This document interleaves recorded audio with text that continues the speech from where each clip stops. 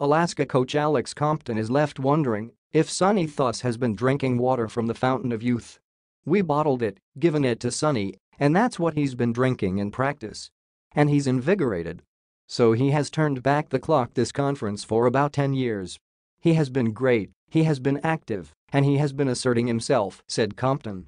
Thoss finished with 21 points in Alaska's 88-80 win over NLEX in the playoff for the eighth and final spot in the PBA Philippine Cup quarterfinals, a welcome development for the Aces ahead of their playoff against top seed and twice to beat Phoenix Pulse. I think when Sonny's fresh and his legs are strong like that, he's a really tough matchup for any big man in the league. We needed him to be the way he was last Friday. He is strong, and he actually had quick moves, it felt like it was 2007, said Compton.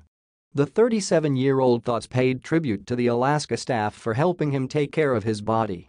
I'm grateful for the medical staff. They've been working with me, trying to get my knee and my back better.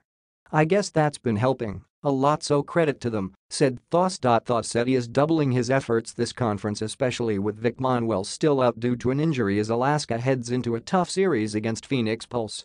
Just trying to be aggressive. It's working my way at the moment. At the end of the day, we still have to lock down on defense. We have work to do. Our next opponent is just as strong, and we have one day to prepare, said Thoss. That's a tough series right there. But for the first game, we've got to get ready, or else we are done. Defensive mindset, that's the main thing.